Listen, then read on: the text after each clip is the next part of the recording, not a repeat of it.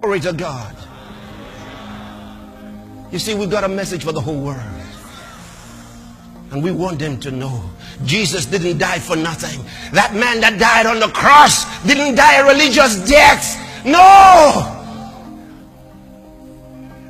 He's real. He's real in my heart. Hallelujah.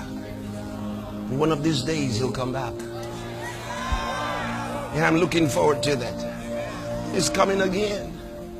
And that's what we're telling men and women around the world get ready. It's coming again. It's coming again. And the dead in Christ shall rise first. And we that are alive and remain shall be caught up together with them to meet the Lord in the air.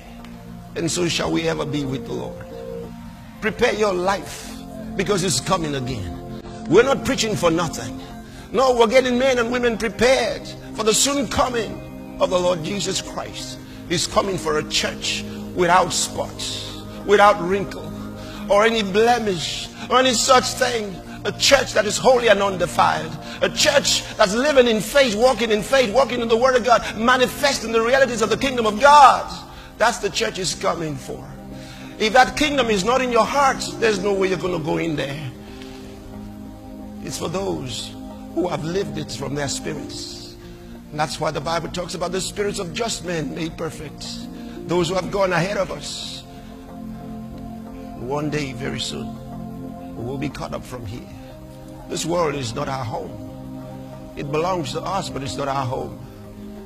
We are the seed of Abraham. So get ready. As we celebrate soul winning and soul winners, rejoice. Rejoice. Because one soul means so much to God. The Bible says for the salvation of just one soul, there's joy in heaven. I wonder why any Christian would ask the question, must I preach the gospel? What else do you want to preach? What is your life for? Why do you live? Why do you live? What do you want to live for? He left us here to win souls to Christ. He gave us the whole world. It means so much to him.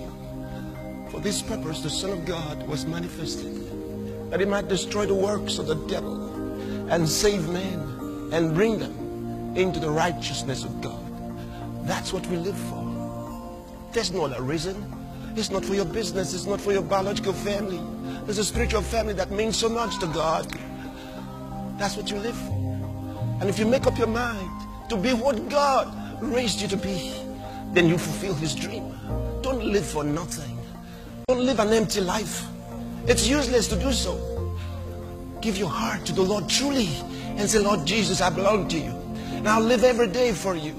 I'll keep your consciousness in my mind, in my soul, in my spirit every day and walk in the knowledge of his victory and be the victor that he has made you.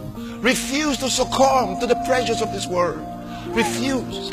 Stand strong in him. Be alive and alive because Christ Jesus has given you power over all devils. He's given you power over fear. Be not afraid of anything. Stand strong because He's made you a victor in this life. As He is, so are we in this world.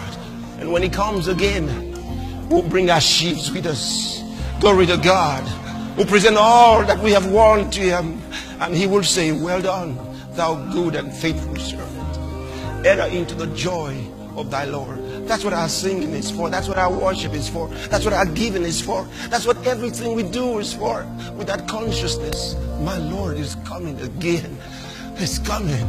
Son graticos, so frapadiras is coming. Lo glorious show frapadila hakorstos. Ligros so frapas. It's called the God of Abraham, Isaac, and Jacob. So krabasadia. The same God the prophets knew. The same God the apostles knew. Thank God. So kabasharas.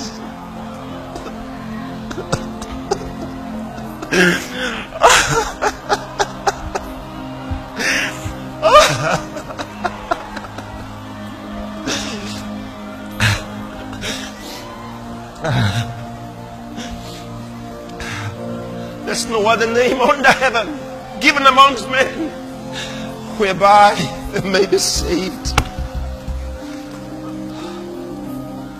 Thank you, Lord Jesus.